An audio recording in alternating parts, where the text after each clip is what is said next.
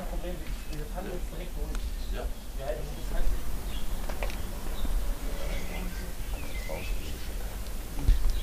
Immer.